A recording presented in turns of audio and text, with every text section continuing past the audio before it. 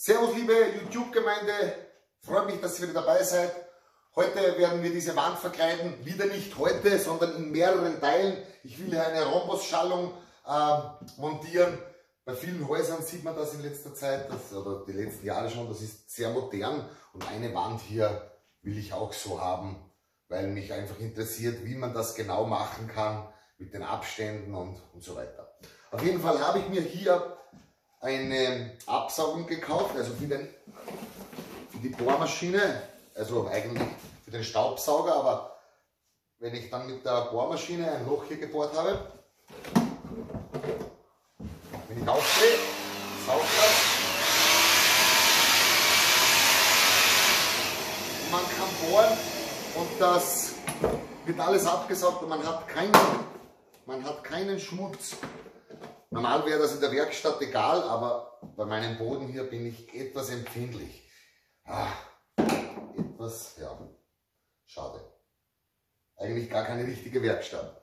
Okay, auf jeden Fall habe ich hier die 5-8er Staffel, die Kanthölzer angedübelt.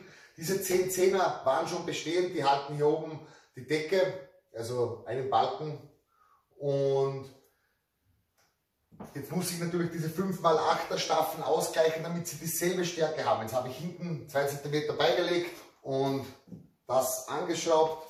Hier habe ich mir einen Tisch gebaut, den habe ich mir jetzt auch schon vor ein paar Monaten gebaut, mit Rollen. Da kann ich mir alles Werkzeug und alles, was ich brauche, immer mitnehmen und kann schön schrauben und habe alles hinter mir. Ich muss nicht am Boden herumklettern bei mir. Also ist das etwas schwer, es ist so schwer aufzustehen. Und diese Backel habe ich mir hier in eine Schachtel gegeben und da kann ich immer nehmen. Das ist ein schönes Arbeiten. Diese Waage, also ob das so jetzt in der Waage ist, ist relativ egal. Es ist ziemlich genau, also um 2 mm vielleicht auf 3 Meter. Wichtig ist mir, dass das hier eine Flucht hat und das kann ich dann halbwegs ausgleichen. Wenn noch irgendwo was nicht passt, gebe ich ein kleines Backel noch dazu. Aber allzu genau wird das nicht werden. Auf jeden Fall mache ich jetzt die Unterkonstruktion fertig.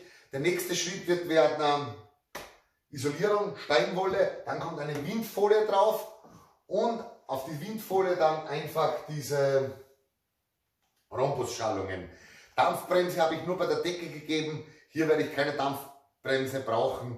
Das sollte normal so auch funktionieren, ohne dass es schimmelt. Es wird nicht oft geheizt. Und ich hoffe zumindest. Falls jemand von euch mehr Ahnung hat davon, gebt mir noch Bescheid, denn diese Aktion dauert sicher einen Monat. Immer wenn ich Zeit habe, arbeite ich weiter. Und ich wünsche euch viel Spaß beim Beobachten der Wandschallung, Montage.